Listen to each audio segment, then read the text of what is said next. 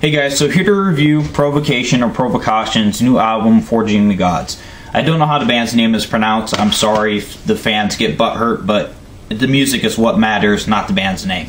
Alright, so right off the bat, these guys are a four-piece slam death metal band, and this is their second full-length album.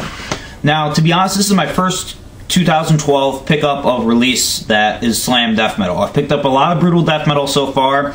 I've been kind of iffy on what I've picked up, but this slam death metal album has really blown me away. A lot of stuff that I listened to in 2011, I really thought that was like slam death metal's year was last year. But I'm starting to really rethink that. A lot of bands I've been finding on Facebook and Bandcamp and all the other sites that you can you know just listen to their music a lot of good bands have actually been coming up and sprouting out this year, and a lot of them are going to be releasing albums. So, you know, I'm looking forward to this. But, anyways, to the review. Let's get on with it. Vocals. Vocals on this album, the best way to explain them is a low scream mixed with a pig squeal mixed with a guttural. And to be honest, this vocal, it's not that unique. It's not nothing that no one has ever done before. It's something a lot of vocalists can do. It really doesn't take that much talent, to be honest but but it does take talent to make this vocal catchy. And I have to say that this guy as a vocalist is very catchy with his vocals. There is a lot of hooks to this. It kind of reminds me of amputated. And the way they have a lot of hooks for old Mark's vocals which he's the vocalist and he left if you guys don't know that but just heads up. But basically there's a lot of hooks on this a lot of catchy parts for the vocals there are some parts where the vocals get a little bit repetitive, but not to the point where you have to stop listening to the album and just be done with it. You know, vocals are good. They're repetitive to an extent, but they're really catchy, so I can find myself really replaying them. So it's pretty good. Instrumentals. Instrumentals as a whole, basically slam death metal. You have the slams that are super slow, and then a lot of the slams that are diminished chug pace, something that's, you know, very you know, kind of heavy, but not to the point where it's a slam. You know, it's mid-paced. Basically, it's a mid-paced slam. It's very heavy. Something you can bob your head to. Something you can listen to while you're working out or driving down the road. Really catchy with the instrumentals here, ranging from pretty much everything. But there are a few nitpicks I do have to pick out with the instrumentals because they did bother me a little bit guitar work. Guitar work on this album, I actually don't have any complaints for the guitar work. I thought the guitar work was, you know, original to some extent, and then some extents they weren't that original. But slam death metal as a genre, you can only do so much to make something original, and they actually did a pretty good job. The guitar riff is brutal in some parts, you know, really slow, really heavy, something you just want to headbang to slowly, or you want to just fucking go brutal and balls to the walls.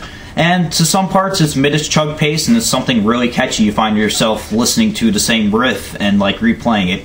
Technical in some points, a lot of guitar songs. You know, not not too much of technical playing here, but really just stays to the point of slam death metal and pure brutality, which is something I appreciate.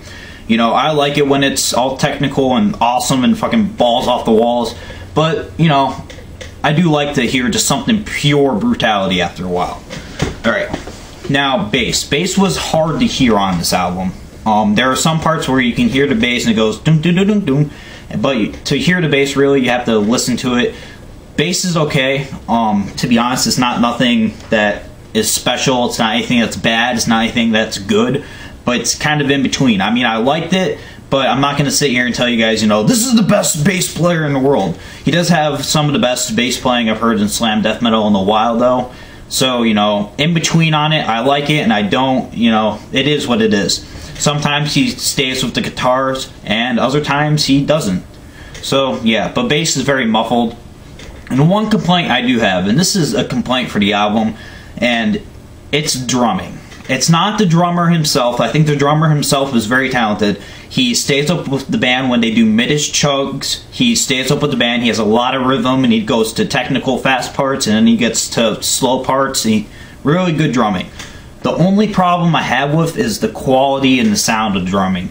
The quality sounds fine, but I wish the drumming was just lifted up a bit more to where you could hear it a lot better. I mean, you can hear the drumming, but I would like to hear it a little bit louder. I am a drums person and a vocals person. I like my drums to be out there and the vocals and everything, you know. But this album, it sounds like the drums are hidden pretty much under all the guitar riffs and the bass and the vocals. It really sounds like the drums are really hidden. In some parts, the drums do stand out though You know, they sound very unique and brutal, but you know, in a lot of parts of the album, it's really muffled, and I just wish I could hear it a little bit more.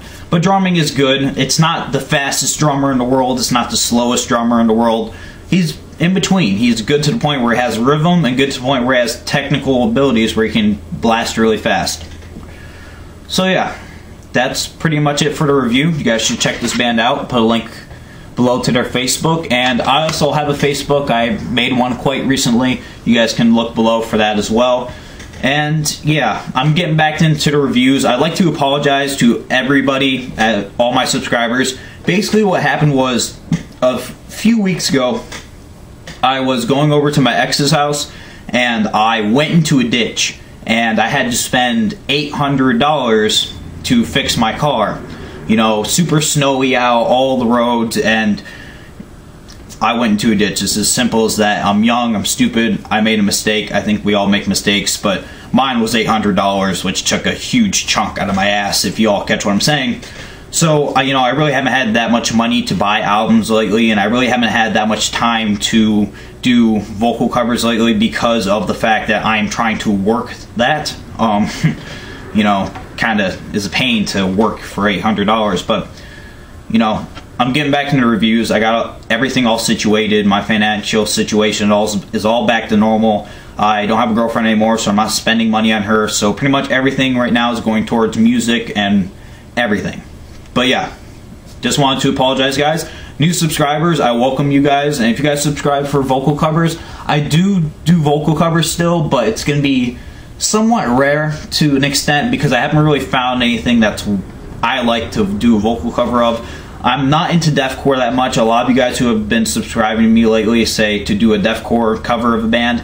And the honest truth is, I don't like doing highs.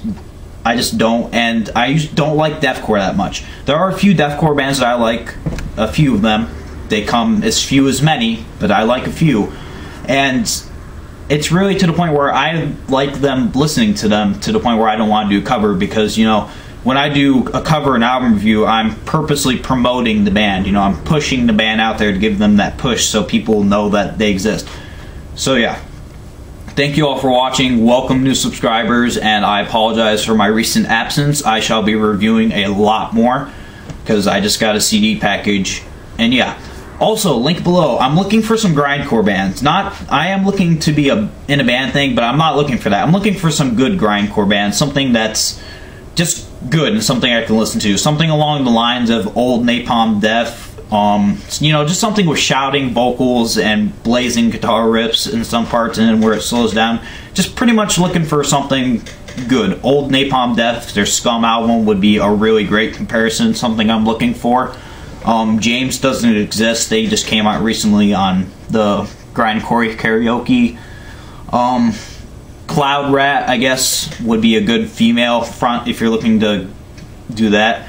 But yeah, can you guys, if you know any bands, of course, if you know any, then link below. Alright, enjoy the video, guys. Hope you have a great day and keep it fucking brutal.